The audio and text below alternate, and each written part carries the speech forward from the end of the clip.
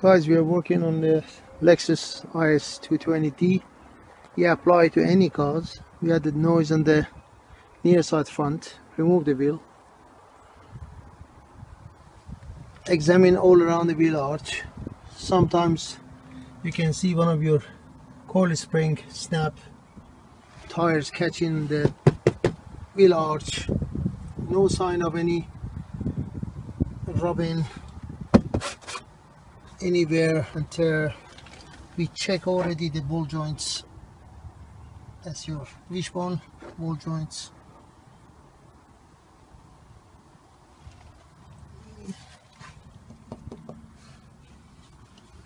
Little bit gap on the anti-roll bar. Everything is fine. What what I noticed this side of the disc we got little lip so when the pad were inside the disc you make two lip on the sides. This smooth little lip but when I go behind the disc the lip is much larger than this side. So uh, wear out this disc wear out from inside more than outside. Why the caliper sliders they don't work. So this doesn't put the pressure equally on the both side of the disc so the piston put more pressure on this side. The slider doesn't work. So you get I don't know you can see from here is a lip the corner this side. Yeah. This is the lip from inside. So if the slider doesn't work on the caliper you get wear too much from this side piston pushing the pads against the disc from behind. Yeah. you get plenty. And if you look at it through here oh it's not that easy. The pad inner pad wear out much quicker than outer one. When we remove it we're going to show you on part 2 so this apply to any car. Just crack the 14 mil sometimes 12 13 sometimes this nut here is turning you must hold it but in this case we got the little lip. Doesn't let it turn. So you remove the caliper make sure you don't put the pressure on the brake hose. You put your caliper rest on here on the wishbone so it doesn't stretch because they're so old so it might crack the brake pipe. So when on the part 2 I'm going to show you you know you just remove these two then you get the little screwdriver push it towards the disc and the pads to push the piston. We are working on the Lexus but it's general for any cars that they carry the disc. So as I explained for you in the part 1 as far as we see the disc wear out this side wear out more than the back we realized the caliper doesn't work properly and the sliders here the seized. You look at the sliders the little pistons go forward and backward so they're seized up. And I couldn't push the pistons there's a pistons back. So uh, as you see the pads this side the outer pad look at the thickness of the pad and the inner one so now you notice why the noise was there. Wasn't working properly and always engaging and every time you brake you make a noise because the piston didn't go back. So if you take the pad off you can see the pads how thick is it? it is a metal bit that's that's a friction area. Let's push against the disc. Little lip here just a bit. Look at the other one. Almost nothing left. If you look at the I'm sorry I must get a torch. Here. See?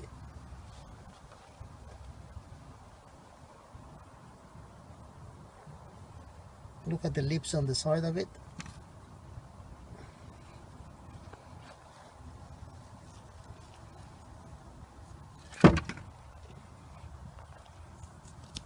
This side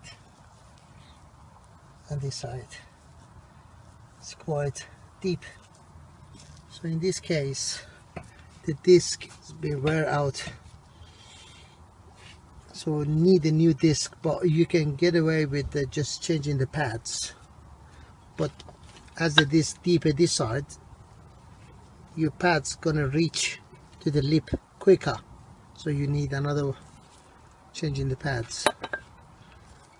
So as I told you we put the caliper there so to avoid damaging the brake hose in this case uh, maybe we must remove the pistons from the housing clean it or we get a clamp we push the piston back because the new pads is not going to fit.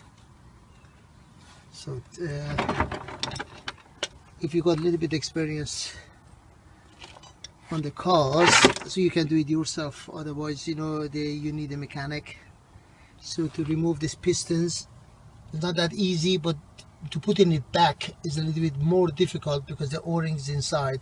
You can find a kit caliper kit. You remove this piston they clean it with a really fine sandpaper in circular motion. Not the straight otherwise you know that oil is gonna leak. The brake fluid gonna leak and these sliders we're gonna we're gonna release them clean them and put, put them back with the new pads on this case. So maybe next pad changing uh, we need a new disc with it. But you can see how bad is it? This one and the inner one. So the sliders didn't work. So the pistons was pushing more towards the inner pads than the outer one. So guys uh, see you on part 3 when we get the pads uh, I'm going to show you how to change the pads and how to um, clean this one release this one and the pistons. See you later guys. Bye bye guys we are in part 3 braking problem. We're working on the Lexus but all the cars the same. So as I explained last time we remove it we realize that this gone because of the pads on even wear pistons were seized and the sliders were seized. So in this case what I did I just put this bolt back as holding the caliper. Put my adjustable next to it like this. And then I tap this one so the slider moved. As you see it's extended. But this one it doesn't move at all. So it's, difficult. We need a carrier for this. So what uh, I'm attempting to heat up this part that piston is stuck in it heating it up a little bit put the wet cloth here because that's a grommet dust cover. It doesn't let the dust get to the pistons otherwise it gets seized. But this one has seized because nobody serviced it before. So we got the gas here. What we do? We just look at this section here. But before we must put a little cloth here with the wet. So we just heat it up and cool it down heat it up because we don't want to burn this one. And uh, I'll show you the other things I wanted to do. This is a gauge pin for the bigger pistons. It is a truck. But unfortunately the studs I got here is a 14 so I made a slide hammer they call it. If this one was 14 I would screw this one here by tapping it backwards and forwards because we got enough space use as a slide hammer. So it pull this piston out but we don't have a 13 mil studs. This is 14 mil studs. So this one didn't work. So if the heating doesn't work what I need to do I need to get a 13 mil studs to make this slide hammer heat it up and keep hammering it backwards to remove this piston out now what I do I just heat up this one put the cloth here and then I've got a little bit heavy duty I'll put it here water pump plier and I'm gonna hit it with a solid hammer instead of the wooden block. Wooden block this one come out we were lucky. We don't know we're to be lucky for this one or not. So this is a part three still we are on this car so uh, as soon as as soon as I remove this piece uh, I'm gonna get the video clip and then show you how to push the piston back on here and how to lubricate and clean it. So guys see you later for today. We're lucky. Beautiful sunshine again today. So I'm out. Bye. Hello gentlemen and ladies. Uh, we managed to remove these pins. As I described for you I just heat it up. Then I cool it down with the water again heat it up again bang it. So this is the top one I could manage to remove. It's quite bad. It just we are lucky we could remove this one otherwise we had to get a carrier. I work on the trucks and other vehicles vans before if it goes you can no way you can get rid of this one. Even if you hit it you're going to de-shape it you're to damage this one. So the pistons they're not to travel just square inside. So we are lucky come out with just a little bit heat this is a bone one I remove it. It wasn't that bad. Well, it was difficult but not as bad as the top one top pins the sliders. As I told you there are sliders here. It's and one on the top. Yeah so uh, I told you I'm going to show you how to do the push the piston back. In this case we were lucky because the piston wasn't seized. It is hard because I work on the the other vehicles before. When you got a heavy the, the caliper especially it was a uh, Skoda and uh, I think it was Volkswagen they got the, the heavy heavy pistons on the top. So no way you can push it back with the screwdrivers like a normal changing pads. So it's easy you know when I just turn the clamp if you see the pistons going back. Look I put little pads the old pads here to hold hold it so you can push the pistons back right way. But remember when you put the new pads you must pump the brake. Don't forget you must pump the brake. When everything finished you must pump the brake so the pistons sit next to pads otherwise you're gonna have a gap there and then if you drive it off you can unfortunately have accident. So I remove the clamp. These are old pads I put there just to square my clamp. Here we go. The piston is right in. Look at that. So now my new pad's gonna sit. We are happy and we are lucky. The piston is not that bad. The o-rings is okay. As I explained before when the brake fluid come through this pipe push the piston forward piston push the pads forward. As soon as the pad stick to the one side of the disc that's here one side of the disc on the back. So it doesn't have no space to go. That time we got this pulling motion here on the caliper. It pulled towards the second pads so they operate together. So they bite this disc together. So the more pressure equal pressure sorry equal pressure of both sides of the disc. So if this slider sees this pulling one you cannot operate properly.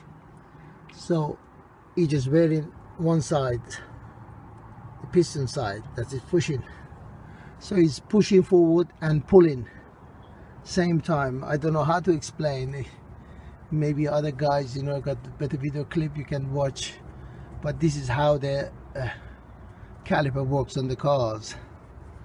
And don't forget what I did. You must remove the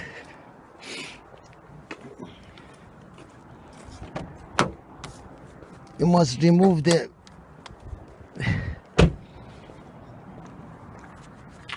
the brake fluid reservoir cap this one. When this car is here or other cars are different you remove this one. So when you push the piston back I always leave it here. I don't forget because if I want to close the bonnet it's not gonna let me. So something is there. Even if I forget about it I just always leave it here. If you look at the oil now the oil is right up because I push the pistons back so if the oil to overlap and just overflow I just with the syringe I get some oil out and just throw it away. But that's okay. When we push the piston back again pump the brakes the oil's going to drop again.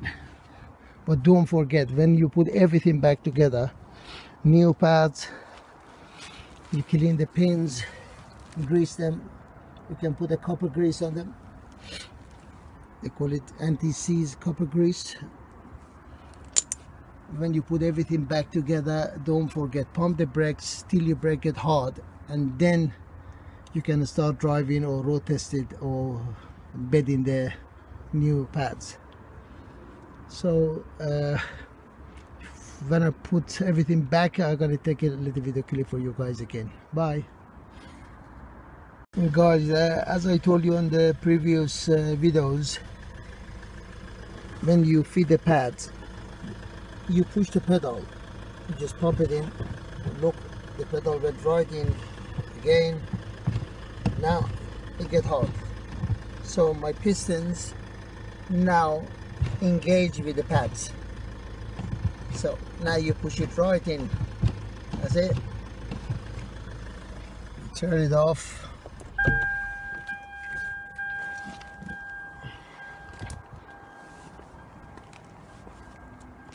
look at the oil a little bit up. You must get rid of some of the brake fluid because if I do this side the offside front the oil is gonna come up. So we need to get rid of some of this fluid.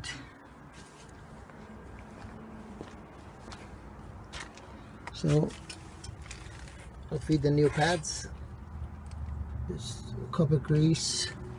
Now the slide is working. Look moving forward and backwards not that much because now these two sides pulling the pads towards the disc and the pistons pushing the pads against the disc. That's it. That's turning and engaging when you want to.